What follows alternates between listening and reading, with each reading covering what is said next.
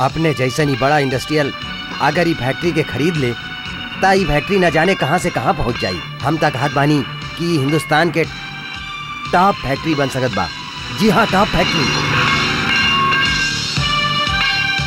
राजा? अपने एकरा जानत बानी का? अच्छा तरह से जानत बने।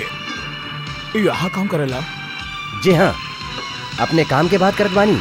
हम ज़िंदगी में काम के पीछे इतना दीवाना इंसान आज तक ले ना देखनी तीन महीना से काम करत बा, लेकिन दस आदमी के काम अकेला करेला। न जाने कौन सा जुनून सवार बा, न जाने कौन सा दीवानगी बा।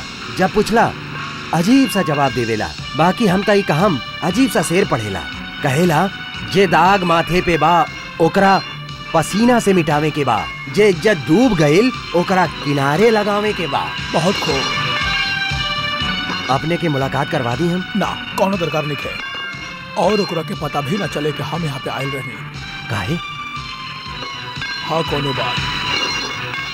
आवा बेटा आओ। आवा बैठा। ए जो तुहार बाप खड़ा बानो एकर दिमाग में थोड़ा सा अकल डाला।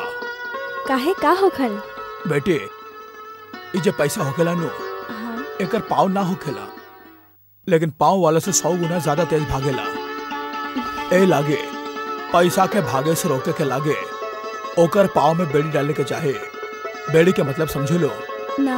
इन्वेस्टमेंट मालिक हम का एगो गवार आदमी तू बानी चुप रहा हम तोरा से बात करत बाने।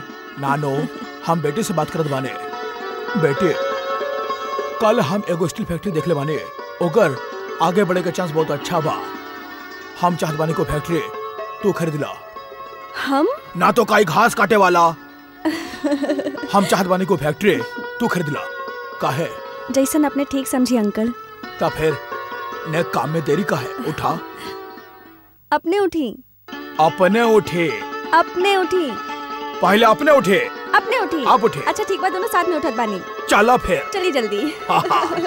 अपने हटे। अरे पायल पायल हमार प्यारी प्यारी बहन कहवा जात बाड़ू एगो पराठा तो खा के जा। भाभी हमरा भूख नहीं खे। ला कर ला बात सुबह से ना तो कुछ खैले बाड़ू ना पियले बाड़ू। ऐसे कैसे चल जाइबू? एगो पराठा तो खा ला बहन। चलिए अंकल। चला।